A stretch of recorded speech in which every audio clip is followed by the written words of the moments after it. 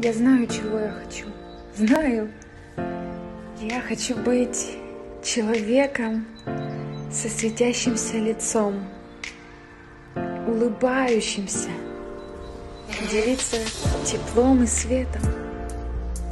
Да, именно нам, людям, дарована возможность выражать своим взглядом и своим лицом и понимание, и сочувствие, и любовь, и тепло, и, и желание делиться, да, излучать этот свет, эту любовь.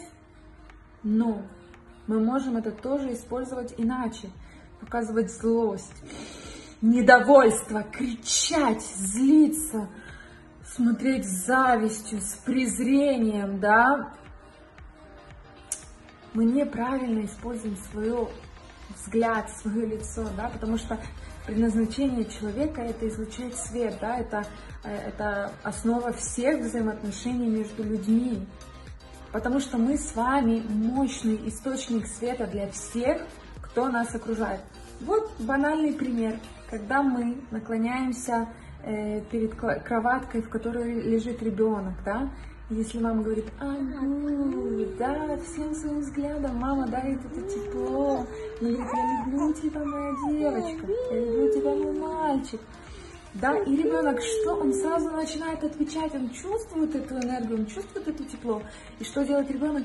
А, да, он открывается. А когда мама сядь, я сказала, да, начинает показывать злое лицо, конечно, ребенок там в ужасе начнет сразу орать и плакать, правда?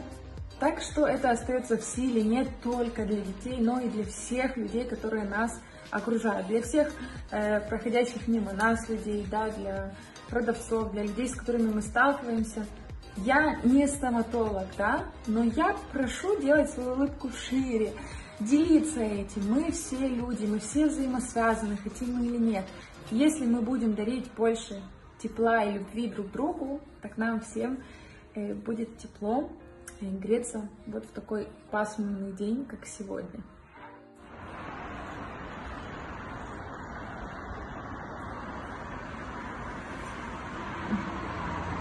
Поэтому давайте не скупиться на добрые взгляды, да, на улыбку, на какие-то добрые, хорошие слова и пожелания. И тогда весь мир будет словно отзеркаливать нас, и мы будем получать это в ответ. Всем хорошего дня!